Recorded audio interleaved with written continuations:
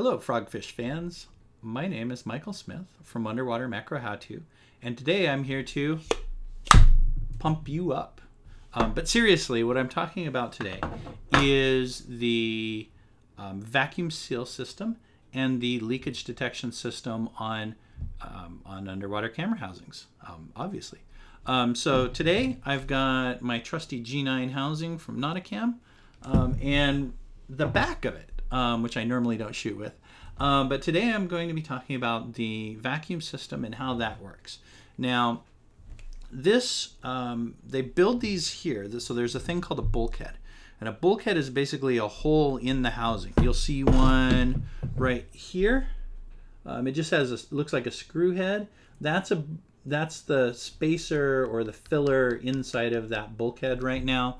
Um, I've got another bulkhead over here, and they usually come in two sizes. One is an M14 and one is an M16. Okay. Um, the vacuum system comes in in a bulkhead like this. You either buy your housing and then you buy the vacuum system to go inside of it, or a lot of the top end housings come with the vacuum system already built into it. And if you just, it's got a case here. Um, always remember to put the, the cover back on because this also keeps water from going inside when you when you release the pressure. And you just have this and it's just a switch. It's a one-way valve. It's a one-way valve. It holds the vacuum and when you push this it breaks that vacuum and allows air to enter the housing okay? um, so I'm going to keep this off for the time being.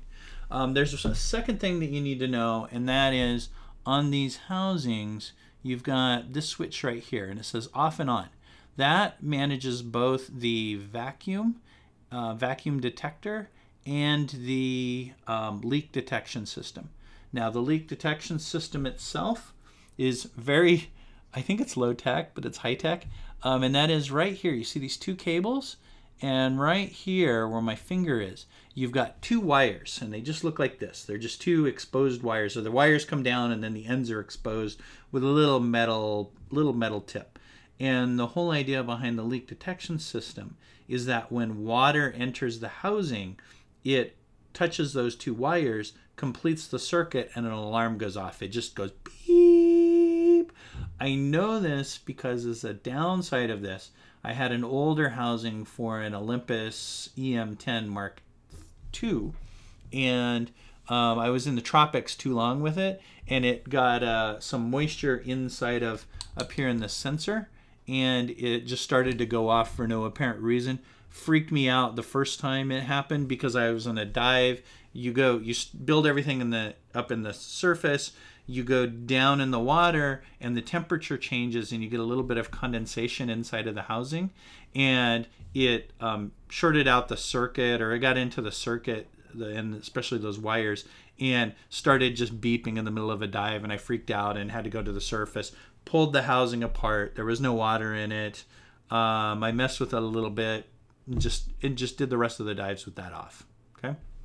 Um, in order to pump out our housing and put a vacuum inside of it, um, and the we we do a couple things. First one is we turn this on.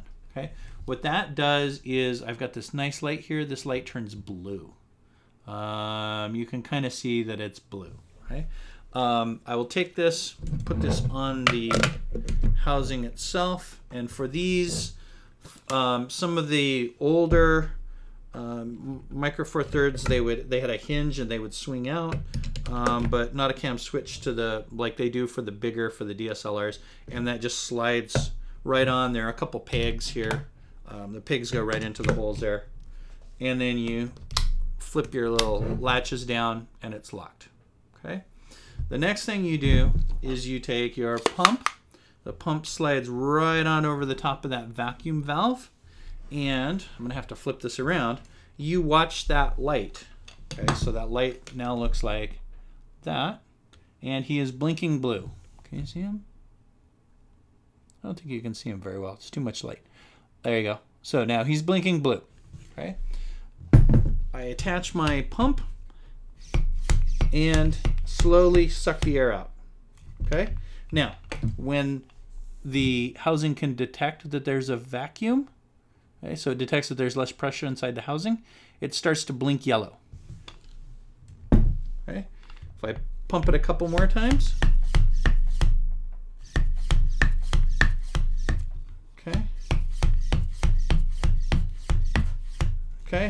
And it still like blinks, blinks, blinks. And then it switches to full-time green.